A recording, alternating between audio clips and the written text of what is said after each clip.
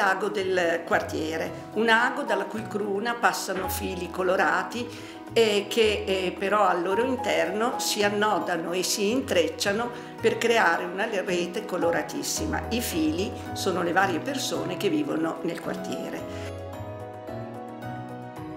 Il punto di comunità San Leonardo per me è un punto di ritrovo, un punto di aggregazione, è un posto dove non solo si offre aiuto, sostegno e orientamento, ma anche aggregazione e voglia di stare insieme. È un punto dove la signora anziana può venirci a trovare al sabato mattina mentre va a fare la spesa perché normalmente si sente sola o, o dove la signora viene una volta al mese a um, partecipare ai nostri laboratori creativi solo per divertirsi e conoscere altre persone eh, per noi deve essere soprattutto così perché queste persone che creano una continuità con noi possono un giorno anche diventare volontari dei nostri punti.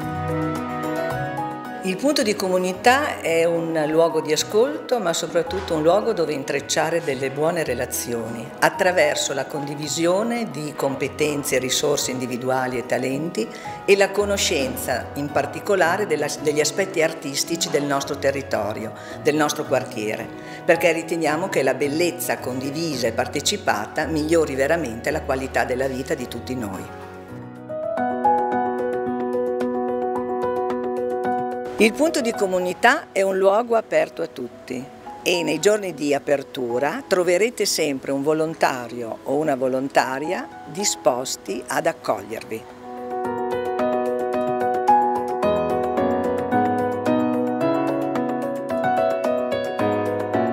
Punto di comunità Lubiana San Lazzaro da poco tempo è stato attivato un servizio di counseling aperto a tutti e gratuito. L'idea è quella di permettere a tutte le persone di recuperare il proprio benessere personale. Al quartiere Pablo eh, portiamo avanti questo progetto che è quello di, della ricerca attiva del lavoro eh, perché è proprio un'esigenza di questo quartiere quella di eh, potersi eh, integrare nel mercato del lavoro e poter trovare un'occupazione. Allora io mi chiamo Verlin, sono venuta a conoscenza del punto di comunità mediante l'assistenza sociale, il fatto che le mamme potevano ritrovarsi qua e condividere le loro esperienze, ma il mio era piuttosto il voler integrarsi il voler non essere soltanto una mamma dell'Africa, ma essere una mamma con i figli che vivono in Italia e dunque venendo in questo punto ho trovato questa cosa, ho trovato una comunità, ho trovato una famiglia, perché qua si aiuta chi è nel bisogno, una volontaria che mi porta i figli a scuola, che mi riporta i figli, dunque mi, mi sono piaciuto qua.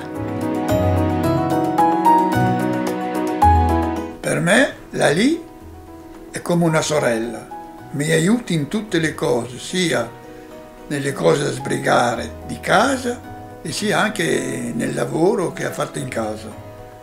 Per me è, è una donna indispensabile.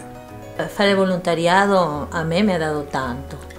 Eh, era un momento proprio critico nella mia vita e eh, un giorno è andato lì al punto a chiedere un po', hanno detto che avevano bisogno di volontari, io sono felice di fare queste, questa cosa qua, aiutare agli altri, prendermi cura di lui, di sua moglie, per me, a me personalmente mi ha dato tanto. Questa è la miglior medicina per me.